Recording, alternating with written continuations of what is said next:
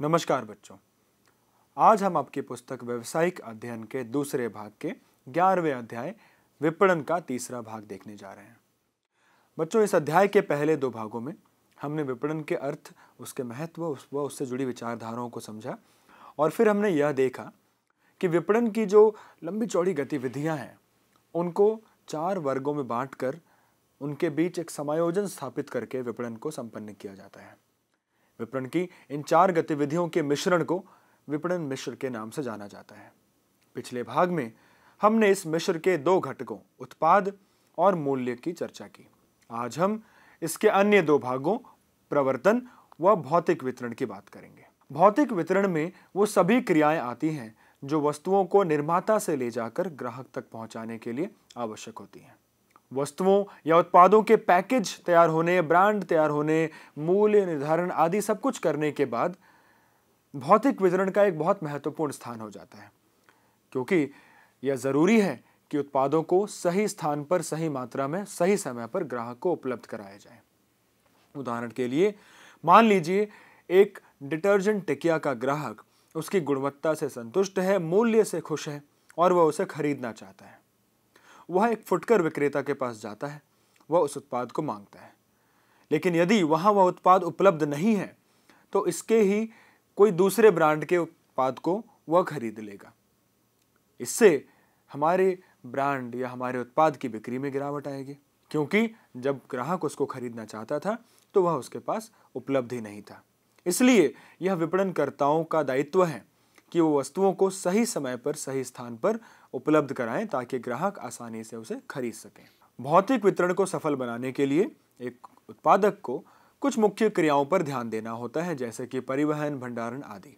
आइए इनमें से कुछ मुख्य क्रियाओं पर चर्चा करें। भौतिक वितरण में सबसे पहला काम आदेश प्रक्रियण का होता है। आदेश प्रक्रियण का अर्थ है कि हम एक बार ग्राहक से आदेश प्राप्त करने के बाद उस आदेश को सही समय पर तीव्रता से पूरा करें। हम ये सुनिश्चित करें कि ग्राहक को अपने आदेश देने के बाद उत्पाद को प्राप्त करने के लिए ज़्यादा प्रतीक्षा नहीं करनी पड़े। इसके लिए हम तुरंत उसके आदेश को मिलने के बाद उत्पाद को तैयार करवाएँगे व उसके संग्रहण आदि पर ध्यान देंगे, उसको तुरंत वहाँ से निकालकर परिवहन माध्यमों के द्वारा ग्राहक तक पहुंचाएँगे। इसलिए आदेश प्रक्रियण के बाद परिवहन का महत्व भी इसमें महत्वपूर्ण हो जाता है। परिवहन के सही साधनों का चुनाव करना भी बहुत महत्वपूर्ण है। उत्पाद के आकार, उसकी प्रकृति आदि को ध्यान में रखते हुए हमें एक सही परिवहन माध्यम चुनना होता है, ताकि उत्पाद ना केवल सही समय पर सही तरीके से पहुँचे, बल्कि उसमें किसी प्रकार का नुकसान ना हो। परिवहन माध्यम के चयन के साथ साथ हमें वस्तुओं का भंडारण भी सही प्रकार से करना होता है। भंडारण की क्रिया वस्तुओं के उत्पादन और मांग के बीच समय के अंतर को पाटने का काम करते हैं।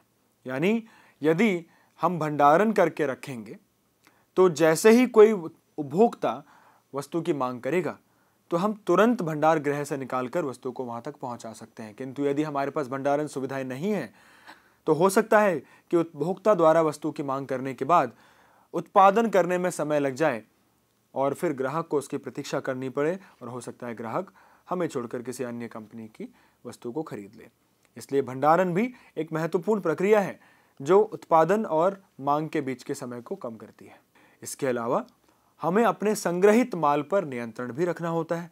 यानी, जब हमने भंडारण में अपनी वस्तु या माल का संग्रहण किया है तो हमें कौन से वस्तु को पहले बेचना है, कौन से को बाद में बेचना है, हमें किस वक्त कितनी मात्रा का संग्रह करके रखना है, कहीं हम ज़्यादा स्टॉक ना रख लें। इससे फिर हमारे स्टॉक की बर्बादी होगी, नुकसान होगा। कहीं हम बहुत कम स्टॉक ना रखें कि हम अपने उपभोक्ताओं की मांग ही पूरी ना कर पाएँ। इन सब बातों का ध्यान रख के हमें वस्तु का या उसके माल का उचित संग्रहण करना होता है।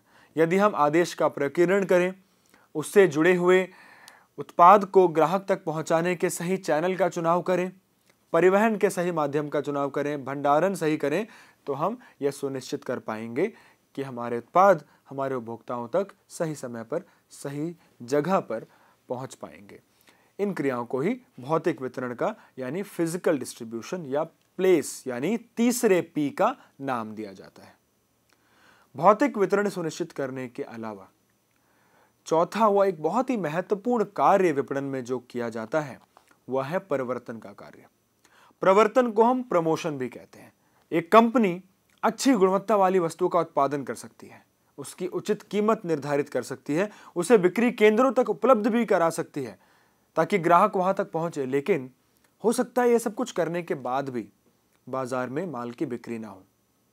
बाज़ार में उचित संप्रेषण की कमी से ऐसा हो सकता है। यानी यदि हमने अपने ग्राहकों तक, अपने बाज़ार तक, अपने वस्तु की सूचना, उसकी गुणवत्ता से जुड़ी जानकारी, वस्तु की उपलब्धता की सूचना समय पर संप्रेषित नहीं की, पहुंचाई नहीं तो ग्राहक हो सकता है आकर हमारी वस्तु को ना खरीदें। इसलिए उचित संप्रेषण होना ज़रूरी है। यदि उचित संप्रेषण नहीं होगा तो ग्राहक को उत्पाद के संबंध में या किस प्रकार से उत्पाद उसकी आवश्यकताओं को पूरा कर रहा है, उत्पाद के लाभ क्या हैं, इन सबसे जुड़ी जानकारियाँ और ज्ञान प्राप्त नहीं होगा।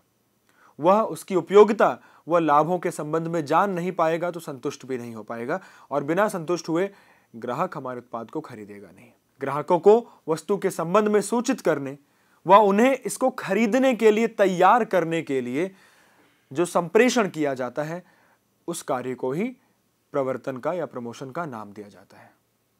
अब, प्रवर्तन का मतलब तो हमने समझ लिया। यानी हमें ग्राहकों को अपने उत्पाद के बारे में, उसके लाभ के बारे में बताना है वह उन्हें आकर्षित करना है उत्पाद को खरीदने की तरफ़। प्रवर्तन करने के लिए कुछ गतिविधियाँ हमें करनी पड़ती हैं, जिन्हें मिलाकर प्रवर्तन मिश्र कहा जाता है। प्रवर्तन मिश्र के अंदर प्रवर्तन करने की तकनीकों को शामिल किया गया है।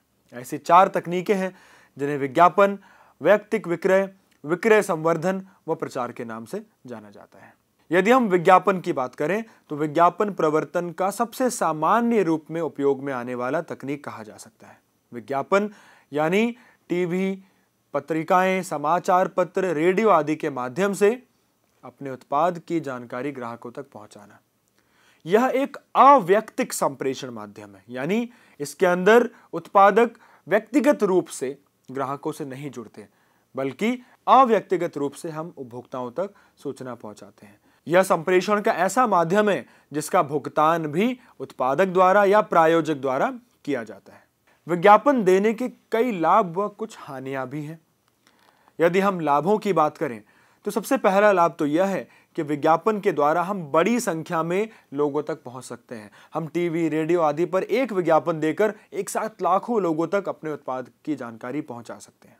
दूसरा, विज्ञापन के द्वारा ग्राहकों की संतुष्टि व विश्वास में वृद्धि होती है। यानी जब ग्राहक किसी उत्पाद के विज्ञापन को देखते हैं तो ना केवल वो उसके द्वारा उत्पाद के बारे में जान पाते हैं, बल्कि वो एक तरह से इस बात को लेकर भी सुनिश्चित हो पाते हैं कि यह व्यवसाय या कंपनी एक अच्छी बड़ी कंपनी है जो उत्पाद की सूचना पहुँचाने में पैसा खर्च कर रही है और उत्पाद के ये गुण हैं तो उन गुणों को लेकर ग्राहक के मन में एक विश्वास भी पैदा होता है। इसके अलावा विज्ञापनों को प्रवर्तन की एक मित व्ययी तकनीक, यानी कम खर्चीली तकनीक भी माना जाता है। ऐसा इसलिए माना जाता है कि भले ही विज्ञापन में एक बार को हमें ज़्यादा पैसा खर्च करना पड़े, लेकिन यदि हम इसकी पहुँच को देखें तो एक बार पैसा खर्च करके हम कई लोगों तक एक बड़ी संख्या में पहुँच सकते हैं तो प्रति व्यक्ति लागत एक प्रकार से हमारे लिए कम हो जाती है। इसलिए इसे एक कम खर्चीला तकनीक माना जाता है। इन लाभों के अलावा विज्ञापनों की आलोचना भी होती है।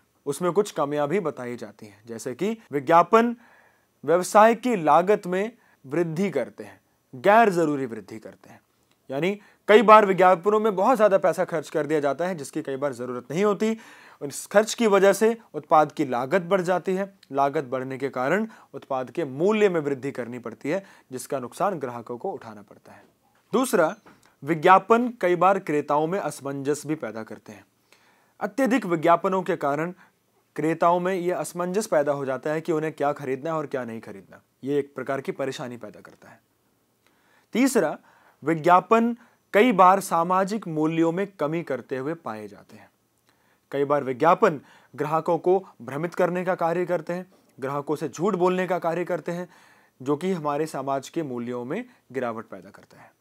इसी प्रकार विज्ञापनों के माध्यम से कई बार कंपनियाँ घटिया उत्पादों की बिक्री भी करती हैं।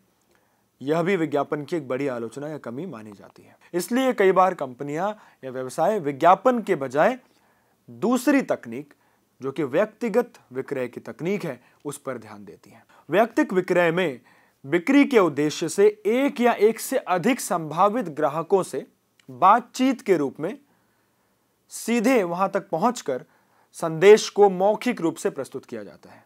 जैसा कि इसका नाम कहता है, यह संप्रेषण का एक व्यक्तिक रूप है। कंपनियाँ बिक्री के लिए, ग्राहकों से संपर्क करने के लिए, उत्पाद के संबंध में जागरूकता पैदा करने के लिए, उत्पाद की पसंद विकसित करने के लिए विक्रयकर्ताओं की नियुक्ति करती हैं, जिन्हें हम सेल्समैन या सेल्स पर्सन के नाम से भी जानते हैं।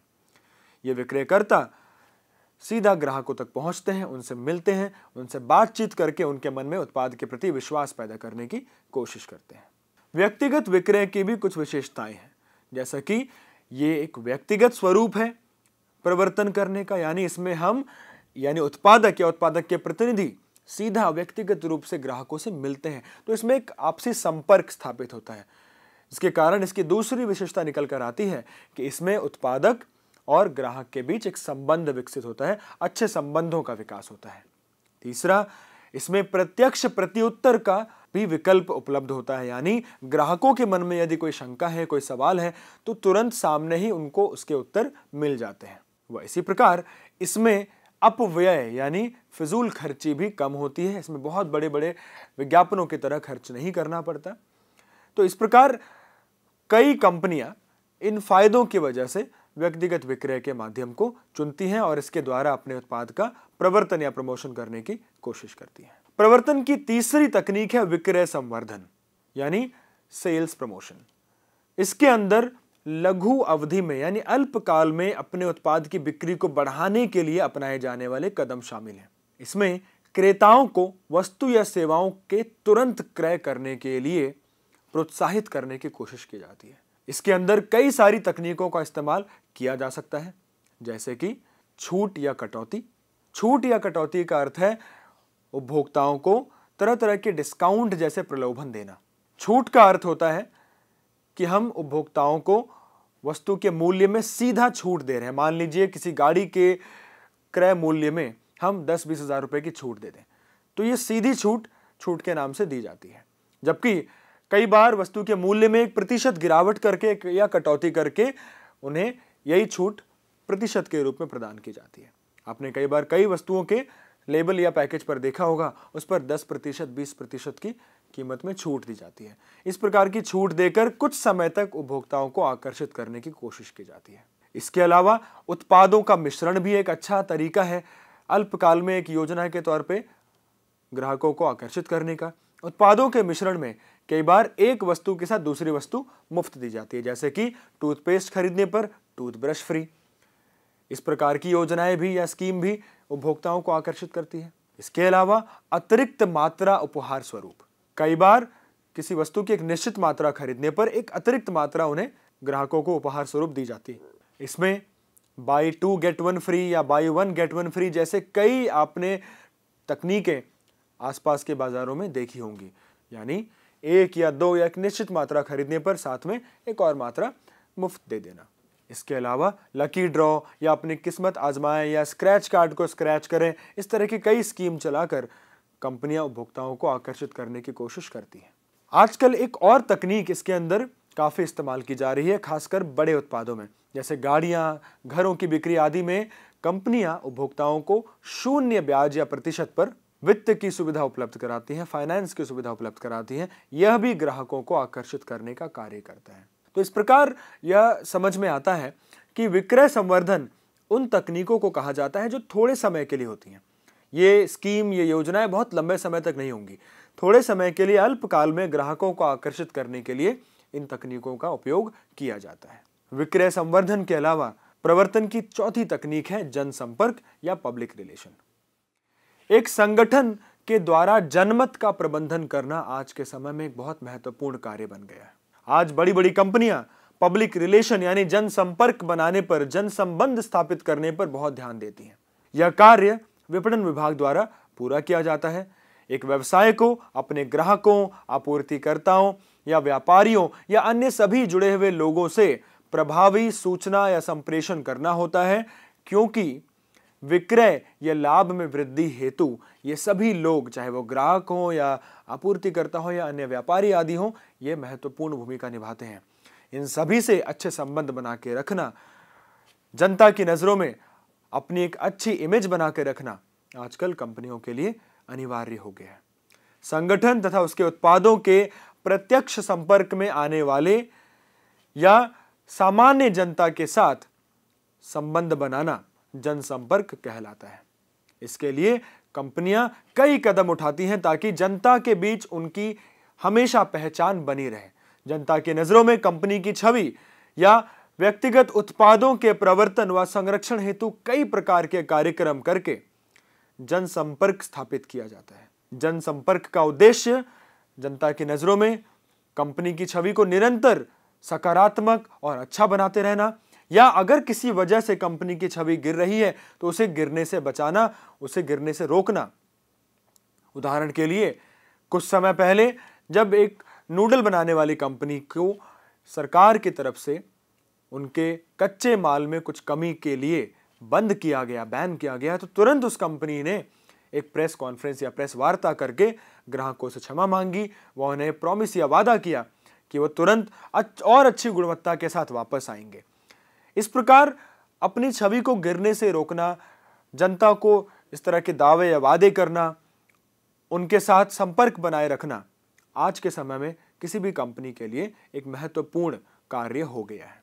इसलिए कंपनियाँ इसके लिए कई तरह के कदम उठाती हैं, जैसे कि प्रेस वार्ता या प्रेस संपर्क करना। समय समय पर बड़ी बड़ी कंपनियाँ प्रेस वार्ताएँ करती हैं। प्रेस वार्ताओं के ज़रिए वह तरह तरह के पत्रकारों टीवी जर्नलिस्ट आदि, इन सब के ज़रिए अपनी बात को जनता तक व अन्य लोगों तक पहुंचाते हैं कि कंपनी क्या अच्छा काम कर रही है, कंपनी के आगे की क्या योजनाएँ हैं व कंपनी के उत्पाद के लोगों को क्या फ़ायदे हो सकते हैं। प्रेस वार्ताओं के अलावा कंपनियाँ उत्पाद के प्रचार के कुछ अन्य माध्यम अपनाती हैं, जैसे किसी समारोह, किसी फ़ंक्शन या किसी खेल कूद के आयोजन में कंपनियाँ प्रायोजक बनकर वहाँ अपने उत्पाद को, उत्पाद की एक छवि प्रस्तुत करती हैं। ताकि ज़्यादा से ज़्यादा लोगों की नज़रों में उत्पाद बना रहे। इस प्रकार उत्पाद के प्रचार को करके ग्राहकों के या अन्य लोगों की नज़रों में कंपनी अपनी छवि को हमेशा जीवित रखने की कोशिश करती है। इसके अलावा कंपनियों का जो जनसंपर्क विभाग है, वह लॉबी प्रचार करने की कोशिश भी करता है।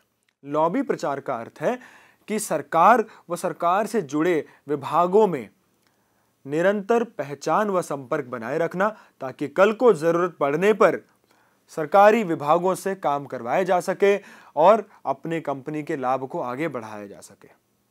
इसके अलावा जनसंपर्क विभाग उच्च अधिकारियों को परामर्श भी देता है, क्योंकि जनसंपर्क विभाग या विपणन विभाग जनता के व अन्य लोगों के संपर्क में रहता है तो उन्हें पता होता है कि कंपनी व उसके उत्पाद के लिए क्या सही है या क्या नहीं, ग्राहकों को क्या चाहिए और क्या नहीं। तो इससे जुड़ी हुई कई सूचनाएँ व परामर्श वो कंपनी के उच्च अधिकारियों तक पहुंचाते हैं। जनसंपर्क के माध्यम से कंपनी निम्नलिखित विपणन उद्देश्यों को प्राप्त कर सकती है। वह जनता के बीच अपने उत्पाद व कंपनी के बारे में जागरूकता पैदा कर सकती है। अपनी कंपनी की अच्छी छवि बनाकर जनता के मन में विश्वास पैदा कर सकती है। विक्रय कर्मियों को प्रेरणा दी जा सकती है।